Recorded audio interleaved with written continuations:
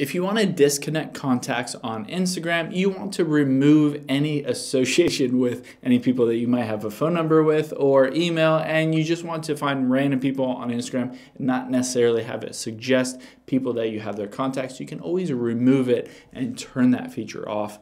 But first, hit that little subscribe button down below. It really helps my channel out a lot.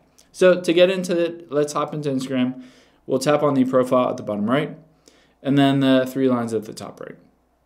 Now let's choose on settings and we will choose account midway down. Now here you can see contact syncing midway down again. We can go in there and it says to help people connect on Instagram, you can choose to sync your contacts periodically with Instagram. If you want to turn this off, all you have to do is toggle that off and disconnect it.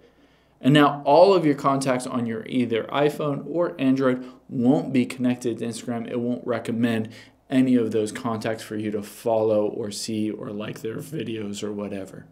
Hope this helps. Leave a comment down below if you have any questions, and I'll catch you guys in the next one.